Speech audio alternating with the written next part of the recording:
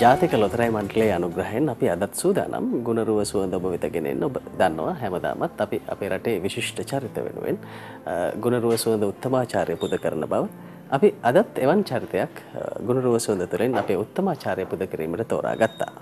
අද ගුණරුව සුවඳ වෙන්වන්නේ අපේ රටේ සිටින තවත් විශිෂ්ට කාන්තාචරිතයක් වෙනුවෙන්.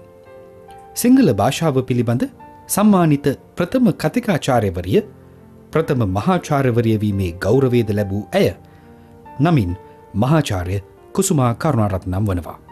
සිංහල භාෂාව සාහිත්‍ය හා සංස්කෘතිය යන සියලු අංශයන් වෙනුවෙන් සිදුකර ඇති අනුපමේය මෙහය අගයනු බස් මහාචාර්ය කුසුමා කරුණාරත්න මහත්මිය අද ගුණරුව සුවඳ සම්භාවනාවට පාත්‍ර වනවා. ජාතික ලොතරයි මඳලේ අනුග්‍රහයෙන් අපි අදත් සූදානම් ගුණරුව සුවඳ ඔබ වෙත සමීප කරන්නට ඔබ දන්නවා අපේ රටේ විවිධ වූ ක්ෂේත්‍රයන්හි විශිෂ්ට පුර වැසියන් පිළිබඳව අපි ගුණරුව සුවඳ නිරන්තරයෙන්ම කතා කරනවා. ඔවුන්ට අපේ ගුණරුව සුවඳ උත්තමාචාර සම්මානය පුද කර සිටිනවා. අදත් අපි සූදානම් මෙවන් අපේ රටේ විශිෂ්ට චරිතයක් ඔබට හඳුන්වා දෙන්නට. ඇගේ මුහුණ දුටු සැනින් ඔබ හොඳින් ඇය හඳුරනවා නමුත් අපි ඇය හඳුන්වා දිය යුතුයි. කොළඹ විශ්වවිද්‍යාලයේ සම්මානිත මහාචාර්ය කුසුමා කරුණාරත්න මහත්මිය තමයි අද ගුණරෝසුන්දීන් ඔබ හමුවන්නේ. මුලින්ම අද දවසේ ඔබතුමියව අපේ වැඩසටහනට ආයිබෝන් කියලා පිළිගන්නවා. අයිබෝන්. ඔබතුමගේ මුහුණ අපේ රටේ රූපවාහිනී ප්‍රේක්ෂකයන්ට නොහුරු උනුපුරුද්දයක් නෙමේ අතිශය සමීපයි. නමුත් ඔබ පිළිබඳව තොරතුරු දන්නේ අපේ රටේ සීමිත පිරිසක් වන්නට පුළුවන්. ඔබේ අතීත තොරතුරු පිළිබඳව ඔබේ කුඩා කාලය පිළිබඳව හැදී වැඩුණ කොහෙද කියන දේ පිළිබඳව අපි කැමති මුලින්ම ඒ පිළිබඳව දැනගන්න. ඇත්තටම මගේ ගැමි ජීවිතය හරිම සුන්දර ලෙස ගෙවුණු දිවියක් කුඩා දැරියක් වශයෙන්. මම ඉපදුනේ මාතර දිස්ත්‍රික්කයේ දොඩම් පහල කියන ගම්මානේ. එහි ඉතාම සරල ජීවිතයක් ගත කළා. දෙමාපියන් සහෝදර සහෝදරයන් ඇසුරේ ආදරය සෙනෙහස රැකවරණය ඇති තරම් ලැබුවෙන් ප්‍රීතිමත් ළමාදිවියක් ගත කිරීමේ වාසනාව මට ලැබුණා. ඒක මගේ මුළු ජීවිතේටම බලපාලා තියෙනවා. අදත් සතුටින් සිහිපත් කරන්න පුළුවන්. මටත් සියුම් ආඩම්බරයක් තිබෙනවා මේ සම්මානිත මහාචාර්යවරිය මාගේ ගම්මානයට සමීප ප්‍රදේශයක ජීවත්වයෙන් පිළිබඳව මම හිතන්නේ ඔබේ පාසල් කාලය පිළිබඳව අපි කතා කළ යුතුයි. දොඩම් පහළ ග්‍රාමයට ආසන්නයේම තිබෙනවා ජාතික පාසලක්. එහිද ඔබ අධ්‍යාපනය ලැබුවේ විජිත මධ්‍යම විද්‍යාලය. දොඩම් පහළ ප්‍රාථමික විද්‍යාලයේ මූලික අධ්‍යාපනය ලැබුවා. ඒ කාලයත් මතක් කරන හැම වෙලේම සුන්දර හැඟීම් සුන්දර මතකයන් මගේ මතකයට එනවා. ඇත්ත වශයෙන්ම අපි පාසල විශාල ගොඩනැගිලි තිබුණු පාසලක් නොවේ. නමුත් ඒ ගොඩනැගිලි වල අපි කොයිතරම් දරුදරියන් ආදරෙන් සමීපෙන් සිටියද ගුරුවරුන් ගුරුවරියන් අපට කොයිතරම් ලැබිව අපට පාඩම් කියා දුන්නද ඉන් අනතුරුව තමයි මම දික්වැල්ල විජිත විද්‍යාලයට ආවා මගේ හයවන ශ්‍රේණියේ ඉඳලා අධ්‍යාපනය ලබන්නට ඉන් පසුව තමයි විශ්වවිද්‍යාලයට ප්‍රවේශ වුණේ. ඉතාමත් සුන්දර වන්නට ඇති ගමේ පාසලේ අධ්‍යාපනය ලැබලා ඒ නිසා වන්නට පුළුවන් ඔබ මේ සිංහල විෂයහිලා සමත්කම් දක්වන්නේ සෞන්දර්ය විෂයහිලා සමත්කම් දක්වන්නේ අපි දන්නවා ඔබ අපේ රටේ ප්‍රකට සාහිත්‍යවේදිනියක්. අපි කැමති මේ විශ්වවිද්‍යාල ජීවිතය පිළිබඳවත් කෙටියෙන් හෝ කරුණු කියනවා නම් ප්‍රේක්ෂකයන්ට. සමහර වෙලාවට ඔබේ සමකාලීනයන් සිටින්නට පුළුවන් දිවයිනේ නන් ප්‍රදේශවල විසිරලා අදටත් සම්බන්ධ කරා නැති. ඔවුන්ටත් කැමති ඇති ඔබේ තොරතුරු දැනගන්න ඔබ කුමන කාලයේද විශ්වවිද්‍යාලය ගත කළේ? ඔබ කිව්ව හරි ඇත්තට මගේ ගැමි පරිසරයේදී මගේ මවගෙන් දෙමාපියන්ගෙන් වැඩිහිටියන්ගෙන් ඒ ලැබූ ජන වහර පිළිබඳව මට විශාල ලැබිකමක් තිබුණා. ඒ එක්කම මම සිංහල විෂයට ඇදී ගියා, සාහිත්‍යයට ඇදී ගියා. එතකොට 1960 වසරේ විශ්වවිද්‍යාලයට ඇතුල් වෙලා උපාධි අපේක්ෂිකාවක් වශයෙන් වසර 4ක නැවතත් කිව යුතුයි සුන්දර සරසවිදිවියක් මා ගෙව්වේ. අපි කලා කටයුතු වල නිරත වුණා. අපි චිත්‍රපට බැලුවා විශ්වවිද්‍යාලය ඇතුළතම නාට්‍ය නැරඹුවා. ඒ වගේම සිසු සිසුයන් සමග සුහද සම්බන්ධතා පවත්වමින් බොහෝම සමීප ඇසුරකින් රසවත් ජීවිතයක් රසවත් විශ්වවිද්‍යාල ජීවිතයක් ගත කළා. කැමති ඒ විශ්වවිද්‍යාලය පිළිබඳව දැනගන්න කුමක් වේ විශ්වවිද්‍යාලය? පෙරදින විශ්වවිද්‍යාලයේ තමයි මගේ ප්‍රථම උපාධිය මම ලැබුවේ. ඒ විශ්වවිද්‍යාල ජීවිතය ඇතුළත මම නේවාසිකාගාරයක නැවතී නේවාසික ශිෂ්‍යාවක් හැටියට හිටියේ හිල්ඩා බේසේකර ශාලාව. අදත් මගේ මතකයේ ඉතාම සුන්දර හැඟීම් ඇති කරන මතු කරන ස්ථානයක්. අපි කැමති දැන් ඔබ ඉතාමත් මේ කාලෙදිත් ඔබ ඉතාමත් රූමත් චරිතයක්. ඒ කාලෙත් ඉතාමත්ම රූමත් ඇති. කොහොමද මේ විශ්වවිද්‍යාල ජීවිතයේ ඒ සෞන්දර්යයත් එක්ක මුසුන්හම ඔබේ චරිත ලක්ෂණ පහළ වුණේ කොයි- කොයි ආකාරයටද? අ, ප්‍රේම සම්බන්ධකම් තිබෙන්නට ඇති. අ, ස්ත- ඒ වගේම මේ තුරුණු කාලේ යම්කිසි කලා කටයුතු වල නියැලෙන්නට ඇති. ඒ වගේ පිළිබඳ පොඩ්ඩක් අපි කැමති වැඩිපුර දැනගන්න. ගමෙන් ආපු අ, තරුණයක් හැටියට ගැමි තරුණයක් හැටියට විශ්වවිද්‍යාලයට ඇතුල් වුණ මම විශ්වවිද්‍යාලයේ උපාධිය හදාරා පිට වුණෙත් ගැමි තරුණයක් හැටියටමයි ඔබ ඇහුව ප්‍රේම සම්බන්ධතා ගැන රසවත් අ, ප්‍රශ්නයක් මගේ පියා ඇත වශයෙන්ම විශ්වවිද්‍යාලයට මාව කැටුව ගිහිල්ලා මාව රඳවා ආපසු එද්දී ඔහු කියපු කියමනක් මම නිතර මේක පවසනවා අ, මට කියන්නේ පුංචි පුතා කියලා පුංචි පුතා අ, ගමේ නම්බුව තියන්න පවුලේ නම්බුව තියන්න. ඒ කෙටි උපදේශ තමයි මගේ පියා මට දුන්නේ. විශ්වවිද්‍යාල ආචාර්යවරියක් වුණාට පස්සේ තමයි එවැනි දෙයක් පි- පිළිබඳ මගේ අදහස ඉබේටම ඒ දෙසට ඇදී ගියා. ඔව්, මම ඒ අ, ඔබෙන්නේ ප්‍රශ්නය අහන්නට හේතුව තමයි ඔබේ වර්- ස්වාමි පුරුෂයා පිළිබඳව ප්‍රශ්න කරන්නට අ, ඔහුත් අපේ රටේ සම්මානනීය පුරවැසියෙක්. මා කල්පනා කළා ඔබට ඔහු කොහොමද හම්බුනේ? අ, මේ විශ්වවිද්‍යාල ජීවිතය තුළද හම්බුනේ? මට ඒ කාරණයට ප්‍රවිෂ්ඨ වන්නට තමයි මා මේ ප්‍රශ්නේ ඔබෙන් ඇහුවේ. අ, මම කැමති දැන් දැනගන්න ඔබේ ස්වාමි පුරුෂයා පිළිබඳව. මගේ ස්වාමිපුරුෂයා මහාචාර්ය සෑම් කරුණාරත්න. ඔහුගේ ඇත්ත නම මහාචාර්ය සමරජීව කරුණාරත්න. එතුමා අ, වර්තමානයේ අ, ශ්‍රී ලංකා තොරතුරු තාක්ෂණ ආයතනයේ සභාපති හැටියට කටයුතු කරනවා. එසේ කටයුතු කරන්නේ ඉතා දීර්ඝකාලීන අ, පන්නරයක් ලබාගෙන.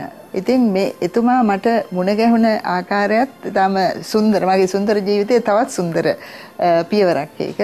අ, විශ්වවිද්‍යාලය තුළ සිංහල විෂය පිළිබඳ ප්‍රථම පන්තිය සාමර්ථයක් ලැබූ ප්‍රථම කාන්තාව හැටියට ඒකම සිංහල විෂය පිළිබඳ ප්‍රථම කතිකාචාර්යවරිය ඉන් අනතුරුව සිංහල විෂය පිළිබඳ ප්‍රථම මහාචාර්යවරිය පීඨාධිපතිනිය ඒ වගේම සිංහල විෂය හදාර උපකුලපති අන්තරදරු ප්‍රථම කාන්තාව වීමේ ගෞරවයක් ලැබුවා. එතකොට මගේ විශ්වවිද්‍යාල කතිකාචාර්යවරියක් වශයෙන් සිටියේදී එතකොට මගේ මහත්තයා දවසක් ඔහුගේ මිතුරෙක් මගේත් මිතුරෙක් පේරාදෙණිය විශ්වවිද්‍යාලයේ ඔහු ඉංජිනේරු පීඨයේ අ, සිටියදී ඒ ඔහුගේ මිතුරා අ, මහාචාර්ය ප්‍රේමසිරි ඔහු පැමිණියා මා හමු වෙන්නට දවසක් හැන්දෑවේ වගකීමක් බාර දෙන්නට. ඔහු විදේශගත වෙන නිසා ඔහු දරමින් සිටි අ, තනතුරක් මට පවරන්නට. ඒ අවස්ථාවේදී තමයි මගේ මහත්තයා ඔහුට වාහනය අ, පහසුකම් සපයන්නට ගිහිල්ලා මාව හමු වෙන්න අවස්ථාව ලැබුණේ. ඒක තමයි මුල්ම හමුව. ඔහු මෑතකදී ලියා ප්‍රකාශයට පත් කළා මට තාම මතකයි කියලා ඔහුගේ ජීවන තොරතුරු පිළිබඳ පොතක්. එහි ඔහු සඳහන් කර තිබෙනවා එදින මා මේවා දන්නේ නැහැ. ඔහු ඒ පොතේ සඳහන් කරාම තමයි මට දැනෙන්නේ. එදින මා අ, යතුරු බර යතුරු කැරල්ලකුත් අරගෙන ඇවිදගෙන යනකොට දැනුණලු වගකීම් දරන කෙනෙක් හැටියට. එදා තමයි ප්‍රථම හමුව. ඉන්පසු අපට අ, ශිෂ්‍යයන් කැටුව අධ්‍යයන චාරිකාවක් යන්න ලැබුණා. ඒ අවස්ථාවේ තමයි වැඩිපුර කතා බහ කරන්න ඊට ලැබුණේ. ඒ අවස්ථාව තමයි අපේ විවාහයට පදනම දැමුවේ. ඒ විවාහ ජීවිතයේ මේ දක්වා අපි එයත් නැවතත් කියන්නම් සුන්දර ජීවිතයක් හැටියට ගත කරමින් සිටිනවා.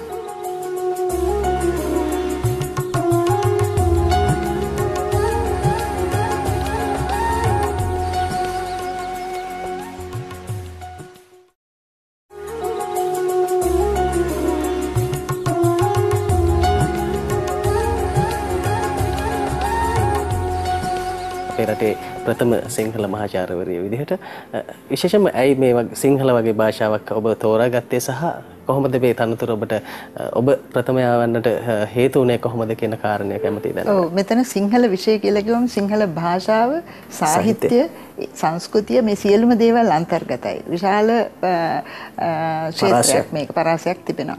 මා කුඩා කාලේ අම්මා මට කිව් ජනකවි ජනකතා ඒ වගේම මගේ පියා කියා දුන්නු ජාතක කතා ඒ සියලුම දේවල් මගේ සිරුරට මං ඇදගත්තා වෙන්න ඇති. ඒක ආකර්ෂණයක් සිදු වුණා කියලා මට හිතෙනවා. ඒ අනුව ඒකම මට පාසලේදී ම, කවි ගායනයට යම්කිසි දක්ෂතාවක් තිබුණා. ඒ වගේම පොතපත කියවීමේ ආසාවක් මේ සියල්ල නිසා සිංහල විෂයට මගේ හිත ඇදිලා ගියා. අදත් මම සතුටු වෙනවා. ඒ විෂයට යොමු වීමත් එක්ක මගේ ජීවන දැක්ම, ජීවන දෘෂ්ටිය පුළුල් වීමක්. ඒ වගේම මං හිතන්නේ ඒ විෂයත් එක්ක තමයි මම විශ්වවිද්‍යාල ආචාර්යවරියක්, මහාචාර්යවරියක් වශයෙන් විශ්වවිද්‍යාලයට තනි වෙලා කොටු වෙලා හිටියේ නෑ. මං එදා සිට මේ දක්වාම සමාජයට පිවිසිලා ඉන්නවා. මාධ්‍යත් සමග විශාල සම්බන්ධතාවක් පවත්වමින් සිටිනවා. ඒක මං හිතන්නේ මා හැදෑරූ විෂයත් එක්ක බද්ධ වූ දෙයක් කියලාත් මට හිතෙනවා. ඒ වගේම අපි කැමති දැන් සිංහල විෂය පිළිබඳවත් කතා කර සාහිත්‍ය විෂය ඔබේ මේ සිංහලත් එක්කම බැඳිච්ච දෙයක්. අපේ රටේ පාඨකයන්ට ඔබ විශේෂ තිලනයන් රසක් ඉදිරිපත් කළ තිබෙනවා. ග්‍රන්ථ කිහිපයක් ප්‍රකාශනයට පත් කළ තිබෙනවා. කැමති ඒ පිළිබඳව කතා කරන්න. මගේ සිත ඇදීගේ ලේඛකයෙක් තමයි අර්නස්ට් මිල හෙමින්ගේ. අපි දන්නවා අර්නස්ට් හෙමින්ගේගේ කෘති කීපයක් සිංහලට පරිවර්තනය වෙලා තිබෙනවා. මම ඔහු ලියූ පළවෙනිම නවකතාව The Sun Also Rises. එතකොට මේ ඔහුගේ මුල්ම නවකතාව හැටියට හැඳින්වෙනවා. ඔහු ෆියස්ටා නමින් මේ නවකතාව මුලින් නම් කරලත් තියෙනවා. නමුත් දෙවැනි වරට තමයි අර මාතෘකාවෙන් මේ නවකතාව ලිව්වේ. මගේ සිත ඇදී ගියා ඒ නවකතාවට. මම ඒ නවකතාව සිංහලට නැගුවා හිරු උදාවේ කියලා. එතකොට හිරු උදාවීමත් සිදුවෙයි කියලා දාන්න බෑනේ හිරු උදාවේ. මේ කෘතිය සෑහෙන්න පාඨකයන්ගේ කැමැත්තට පාත්‍ර වුණා. විශේෂයෙන්ම ළමා සාහිත්‍ය කෙරෙහි අවධානයක් යොමු කළා. ජපන් රටෙන් ළමා කතා කියලා කුඩා කෘතියක්. ඒ පොතත් දරුවන්ගේ බොහොම කැමැත්තට ලක් වුණා. ඒ වගේ ජපන් ළමා කතා කීපයක් රචනා කරන්නට මට අවස්ථාව ලැබුණා. ඊට අමතරව මම මගේම කෙටිකතා සංග්‍රහයක් කළා අපේ රටට සුනාමි ව්‍යසනය ඇති වුණ අවස්ථාවේ එය අපේ සමාජයට අපේ මිනිසුන්ට බලපාපු ආකාරය දැඩි වේදනාකාරී අත්දැකීම් ඒ ඇසූ දුටු දේවල් ඇසුරෙන් මම මගේ කෙටිකතා 12කින් සමන්විත පුංචි කැටේ වතුරේ ගිහින් කියලා කෙටිකතා සංග්‍රහයක් කළා. එතකොට මේ කෘතිය ඉංග්‍රීසි භාෂාවට, ජපන් භාෂාවට සහ ස්පාඤ්ඤ භාෂාවට දැන් පරිවර්තනය වෙලා තිබෙනවා. දැන් රාජරත්නාකරේ කියන පැරණි සිංහල පොත මම ඉංග්‍රීසියට පරිවර්තනය කළා. ඒ වගේ සිංහලෙන් ඉංග්‍රීසියට සහ ඉංග්‍රීසියෙන් සිංහලට යම් යම් පරිවර්තන කෘති කළා. මෑතකදී මම දරුවන් වෙනුවෙන් ලියූ උචි කියලා පුංචි පොතක් ජපන් ජනකතාවක් ආශ්‍රයෙන් ලියූ මේ කෘතිය දැන් ඊ-බුක් එකක් හැටියට ප්‍රකාශයට පත් වෙලා තිබෙනවා. එය එක්තරා විදියක ආශ්චර්යයක් වගේ කියලා මට හිතෙනවා මාසයක් හෝ මාස එකමාරක් ඇතුළත පොත් 800ක් පමණ අලෙවි වෙලා තියෙන බව දැනගන්න ලැබුණා. දරුවන්ට ඒක ප්‍රියමනාප වුණු කෘතියක් බවට පත් වුණා. ඒ වගේම මේ මට ඔබෙන් අහන්නට සිතන ඔබ මාධ්‍යත් සමග නිරන්තරයෙන්ම ගනුදෙනු කරනවා අපි දකිනවා ඔබ රූපවාහිනියෙන් ඒ වගේම පුවත්පත්වලින් ඔබේ සාකච්ඡා අපි දකිනවා විවිධ වූ සාහිත්‍ය මණ්ඩලවල සම්මාන මණ්ඩලවල ඔබ සිටිනවා විනිශ්චය මණ්ඩලවල මම කැමති මේ අද දවසේ භාෂාව හැසිරවීම පිළිබඳ ඔබෙන් යමක් දැනගන්න විශේෂයෙන්ම මේ අපේ ක්ෂේත්‍රයේ මාධ්‍යවේදීන් කොහොමද භාෂාව හසුරවන්නේ අද දවසේ භාෂාව හැසිරවීම පිළිබඳ ඔබට තියෙන්නේ මොන වගේ මතයක්ද කියන කාරණය ඔබෙන් දැනගන්න. එය ඔබෙන් නොයසුවොත් එය අඩුපාඩුවක් විදිහට තමයි මම සලකන්නේ. භාෂා භාවිතය කියන එක අපි දැන් භාෂාවක් කියලා කියන්නේ රටක ජීවනාලිය. සංස්කෘතියක මූලික අංගය හැටියට අපිට භාෂාව හඳුන්වන්න පුළුවන්. ඊළඟට මේ භාෂාව එදා ඉඳලා අද දක්වා ක්‍රමානුකූල වෙනස් වෙනවා. කතා කරන භාෂාව වේගෙන් ශීඝ්‍රයෙන් වෙනස් වෙන අතර ලිඛිත භාෂාව ඊට වඩා අඩු වේගයකින් වෙනස් වෙනවා. දැන් මම ළඟදී මට ඇසුණු දෙයක් තමයි මේ ප්‍රවෘත්ති තුලින් අපි දැන් විරාමයක් ගන්නවා කියලා කියනවා. එතකොට අර තුල කියන වචනය අනවශ්‍ය ලෙස දිගට පාවිච්චි කරනවට අමතරව එතනදි කිසිසේත් මේ තුලෙන් කියන වචනය අවශ්‍ය නැහැ. මේ වගේ තුල කියන එක ඊළඟට ඒ වගේ විශේෂ යම් යම් දේවල් තියෙනවා. දැන් නිසාවෙන් කියලා ඇතම් අය කියනවා නිසාවට කියලා. ඔය වගේ බොහොම වැරදි ව්‍යවහාරයන් දකින්න ලැබෙනවා. අපි මාධ්‍යයට විතරක් දොස් පැවරිය යුතු නැහැ. මුළු සමාජය තුළම දකින්න ලැබෙනවා. දැන් බොහෝ වෙලාවට පුරාවට කියලා කියනවා. ඒක එක්කෙනෙක් කියපු නිසාම කියනවා. මම හිතන්නේ භාෂා භාවිතයේදී අනුකරණය නොවේ කළ යුත්තේ අත වශයෙන්ම අවධානයෙන් යුතුව නිවැරදි භාෂාව පාවිච්චි කිරීම තමයි අවශ්‍ය. ඒක ඉතින් අපිට බොහෝ වෙලාවට හිත වේදනාවක් ඇති වෙනවා. හැකි හැම අවස්ථාවකදීම දරුවන්ට ඒක කියා දීමට යොමු වෙනවා. මේ ජනප්‍රිය සිංහල විශේෂයෙන්ම මේ වෙළඳාම බවට පත් වෙලා තිබෙන සිංහල අපි දකිනවා මේ පාරට බැස්සහම් පෝස්ටර් තිබෙනවා. දැන් ඉස්සරට වඩා දැන් සිංහල පන්ති තිබෙනවා. විශේෂයෙන්ම මේ උසස් පෙළ මේ පන්ති තුළදී අපි දකිනවා මේ විශේෂයෙන්ම මේ භාෂාවට සිදුවන හානිය ජනප්‍රිය සිංහල නිසා. ඔබට යම්කිසි මතයක් තිබෙනවාද මේ පිළිබඳව? මට මෙතනදී මතක් වෙනවා මගේ පුතා ඇත්තටම මට අපිට පුතුන් දෙදෙනෙක් ඉන්නවා සවන්ත් සහ පසන්ත් ඔවුන් දෙදෙනාම දැන් පරිගණක විද්‍යාවෙන් PhD උපාධිය ලැබලා රැකියාවල නිරත වෙලා සිටිනවා. මගේ වැඩිමල් පුතා පිළිබඳව මට මතක් වෙනවා. ඔහු සිංහල විෂය පිළිබඳව ඔහුගේ පාසලේදී රාජකීය විද්‍යාලයේදී පස්වෙනි ශ්‍රේණියේ ඉතා හොඳ ආචාර්යවරයෙක් ඔහුට ලැබුණා. ඒ ආචාර්යවරයා ගෙන් ලබාගත් දැනීම ඔහු අද බොහෝ දුරගිහිල්ල හිටියට තමන්ගේ රැකියාවෙන් පවා දුරගිල්ල හිටියට සිංහල විවහාරයක් වැඩිපුර නොකලට ඔහුට පුළුවන් තවමත් රූපවාහිනී වැරදි නයන්න වැරදි ලයන්න භාවිත වෙලා තැන් තියන් තැන් පෙන්න්න. එතකොට අපි කුඩා කාලේ හොඳ පදනමක් දෙනවනම් දරුවෙකුට භාෂාව පිළිබඳ හොඳ දැනීමක් දෙනවනම් ගුරුවරුන් විසින් මව්වරුන් දෙමාපියන් හැම දෙනාම එහෙම දෙනවනම් අපේ දරුවන් නිවැරදි සිංහල ඉගෙන ගන්නවා. දැන් අපි සමහර වෙලාවට දකින දේවල් තමයි වැඩිහිටියන්ට කියන එක වෙනුවට පොඩි හිටියන්ට කියලා පාවිච්චි කරනවා. දැන් එතනදී ඇයි එහෙම වචනයක් වැරදි විදියට පාවිච්චි වෙන්නේ? වැඩිහිටි කියන වචනේ වැඩි හිටි කියන දෙක වෙන් කරන්න බෑ. වෘද්ධ කියන වචනේ තමයි වැඩිහිටි කියලා එකම වචනයකට හැදිලා තියෙන්නේ. ඒක පොඩි හිටි කියලා අපිට හදන්න බෑ. ඔය වගේ අරුම පුදුම යෙදුම් අපි දකිනවා. අනික් අතින් අපි දන්නවා වෙළඳ වාණිජ අංශය බලනකොට උන්ට යමක් විකුණා ගන්නට අවශ්‍ය නිසා ආකර්ශනීය වචන යොදනවා. දැන් අපි දන්නවනේ දැන් දෙක දාලා දෙකට කියන එක අංක දෙක දාලා එහෙම දානවා නැත්නම් ඉංග්‍රීසි වචනයක් දාලා ඒකට සිංහල ටයන්න හරි වයන්න හරි අමුණනවා. ওই වගේ දේවල් තිබෙනවා. ඒවා භාණ්ඩ විකුණා ගැනීමේ වාණිජ පරමාර්ථයෙන් කරන දේවල්. එතකොට ඒවා අත වශයෙන් ඒ අවස්ථාවට ඒ පරමාර්ථයට හොඳයි. නමුත් අවාසනාවකට අපේ දරුවන් ඒවා අනුගමනය කරනවා. ඒකෙන් තමයි අද භාෂාවේ බෙහෙවින් දුර්වල බවක් දකින්ට ලැබෙන්නේ. හැබැයි ආඩම්බරයි මම නම් කියන්න. ඒ අතරතුරේ අපේ දූපුතුන් සිටිනවා තරුණ තරුණයන් සිටිනවා. හොඳට භාෂාව භාවිත කරන අය.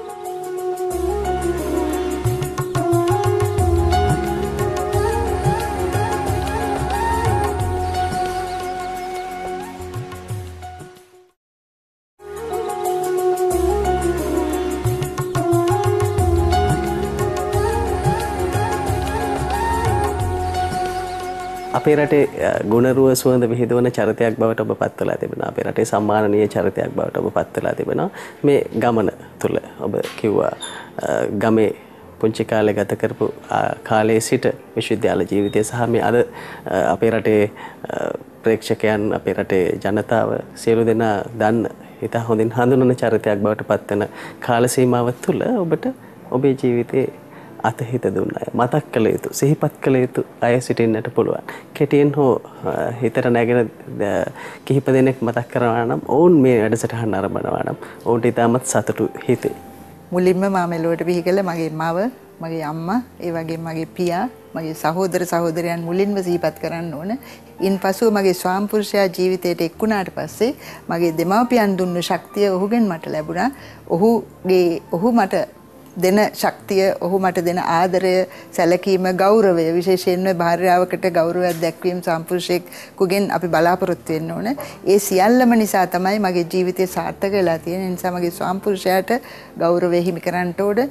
මගේ පුතුන් දෙදෙනා ඔවුන් මට සතුට ආදරය සැනසීම ලබා දුන්නා. ඒ වගේම මගේ ලොකු පුතාගේ බිරිඳ සහ පුංචි මිනිබිරියන් දෙදෙනා මගේ මුල් අධ්‍යාපනයේ සිටම මට ශිල්ප ලබා දුන් ගුරුවර ගුරුවරයන් මගේ මතකයේ සමූහයක් සිටිනවා. ඒ සියලු දෙනාට මම පින් දෙනවා. ඔවුන් නිසා තමයි අද මම මේ තත්ත්වයේ සිටින්නේ.